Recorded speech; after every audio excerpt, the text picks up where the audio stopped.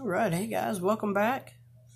Um, today, all I really wanted to show you was the way that I EDC my uh, Leatherman Wave.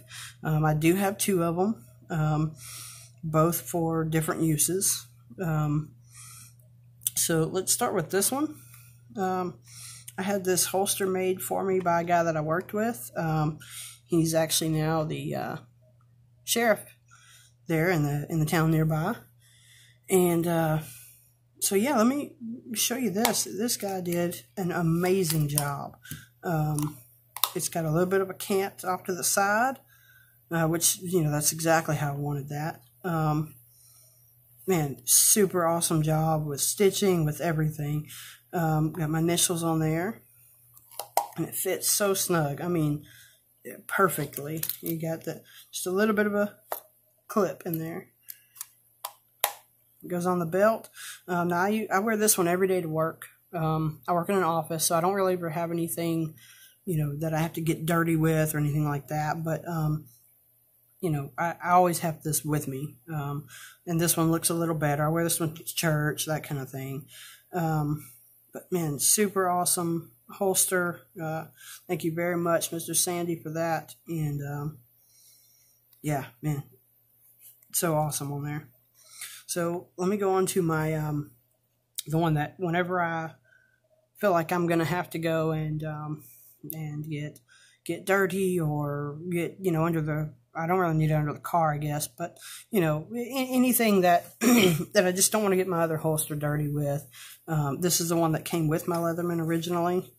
Um, so what I've got first of all I've got the one with the uh, I put the clip on there um, I did do a little bit of lettering on there. That's kind of neat. I thought it's kind of cool. Just some fingernail polish in there. But um, anyways, this is the one that I found at the uh, at the pawn shop. Uh, I paid five whole dollars for it, and uh, cleaned up real good. The guy didn't actually know what he had. I, I felt kind of bad giving him five dollars, but eh, it'd be okay. He won't lose too much off of that. So um, inside of here, I have the extender. Um, cool little tip. These don't come with a pocket clip, but it kept falling out. I kept losing it. Um, if you get a Pentel pencil, you won't be able to see that written on there. It's on there, but there's no way my camera will pick that up. A Pentel pencil will clip on there perfectly. Nice and snug, good pocket clip. Um, man, that made a world of difference trying to keep it in this thing and not let it fall out and all that. But yeah, a Pentel pencil clip will fit on that extender, no problem. Uh, the next thing that I keep in there, I keep the uh, Maglite Solitaire. Um, super bright light, and it, has got a good focus and everything. Um, it just it fits great in there too. Sorry about that. The other thing down over here on this side, I keep a, one of the mini Sharpies um, it doesn't serve a whole lot of purpose. You know, it is good. It will write on most any surface, that kind of thing. But I just kept it mainly because I like to have something to write with and it fits. So why not? Um, but the last thing that I keep down here, or back here, are the, uh, is the bit kit. Um, I love this thing. I, in fact, I use the T6 that's on here, right here, and T8 to take apart knives. Um, in my knife uh, disassembly videos, you'll see that a lot.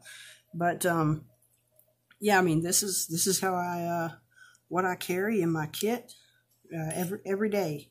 Well, I say every day. I carry the leather one every day, but this this kit in particular, I carry if I know there's something that I'm gonna need to, um, I'm gonna have to work on. I'm gonna have to fix or or get dirty with, and I don't want to mess up my other holster. Um, let me know though if there's something that you guys carry in yours that's different or that you that you prefer or anything like that. And um, especially flashlights. I'm, I'm a flashlight nut. Um, that one's perfect for its size and, and the power that it puts out. But let me know if there's something a little bit better that I can put in there. Um, or a better holster even. This one, it's a great holster, but I don't feel like it'll last all that long. Um, this is starting to get stretched out a little too here. But yeah, definitely let me know what uh, what you guys carry every day and, and and if there's a better Now, it's going to be hard to beat, but let me know if there's a better multi-tool. Um, the Leatherman Wave can do, I'm convinced it can do everything. Um, there, I, I've never put it up to a task and not had it do whatever I told it to do. Um, this just fits here. But yeah, let me know if, if there's something that you that you feel is better. Now the Surge um, is essentially the same tool. It's a lot bigger and it does have a, a saw blade and that kind of thing.